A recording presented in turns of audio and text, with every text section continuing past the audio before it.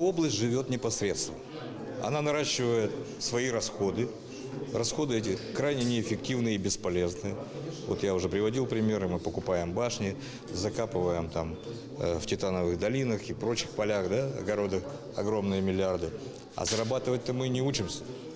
Более того, те муниципалитеты, которые зарабатывают, вот я сегодня приводил пример, да, вот э, в Арамиле, у них был в этом году НДФЛ, норматив, да, который попадал в муниципальный бюджет, 50%. Вот. Мэр Герасименко хорошо поработал, а, увеличил доходную базу своего города э, и получил заслуженное поощрение. Э, Ему норматив НДФЛ снизили до 18%, как Екатеринбургу. Вот. То есть э, область э, никого не заинтересовывает зарабатывать больше. При этом тратит очень много.